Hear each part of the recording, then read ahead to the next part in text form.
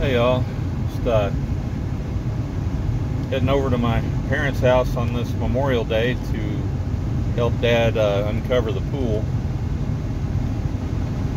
They have a uh, concrete pool in ground, 30,000 gallon, pretty big pool.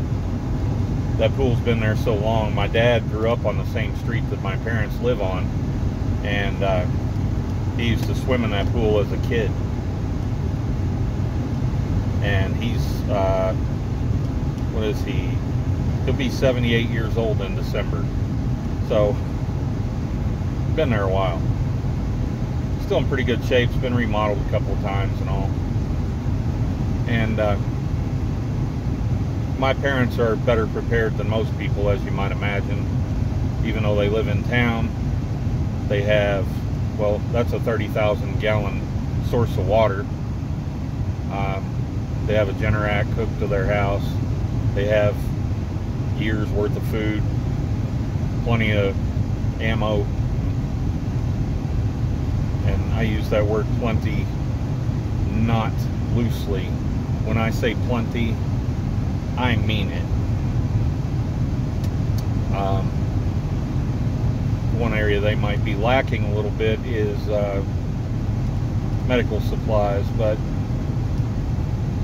they've got dad's prescriptions and everything. They've got extras of that. They've got some antibiotics on hand and all that stuff. But uh, my wife was uh, up throwing up all night, and it made me realize one thing I didn't have on hand was activated charcoal.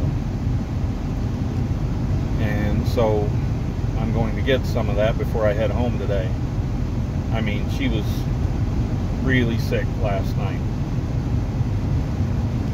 So uh, that's going to happen.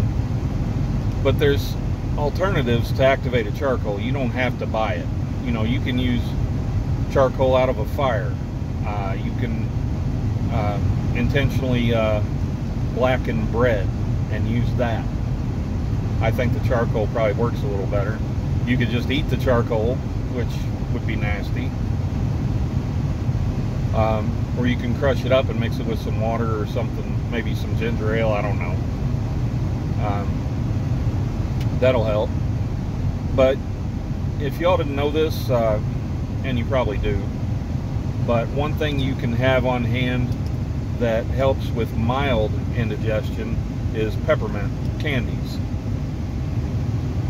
I've got a about a five gallon container of those just for that reason. Um, there are lots of things you can use for indigestion or being sick, you know, physically throwing up. Activated charcoal is a good one. I try to keep some ginger ale on hand too, or, you know, at least Sprite or something like that, but that's not always going to be available. Charcoal will always be available. Um, it probably wouldn't even hurt, hurt to uh, have a jar of it, you know, pre-prepared. Get some charcoal and crush it up into a fine powder. Take less time because you know time can be of the essence when you're when you're physically ill like that. And if you have to, if you're the one that's sick and you're having to do it for yourself, the, the less time it takes to prepare, the better off you are. So, since it's still commercially available right now, I'm going to get some activated charcoal. But, you know, the worst happens, then I'll start making my own. And it's not like it's something you need to practice at. It's pretty freaking self-explanatory. You make charcoal, you pound it into powder. You put it in a jar. There's nothing else to it. It's not, I'm pretty sure you don't have to worry about it going bad either. So, yeah, I could make some in advance, and maybe I will, I don't know. But, uh, I'm going to get the activated charcoal for now. Uh, anyway,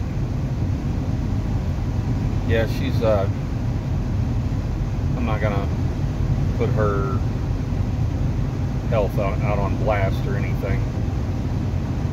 She's having some problems right now. We'll get past it.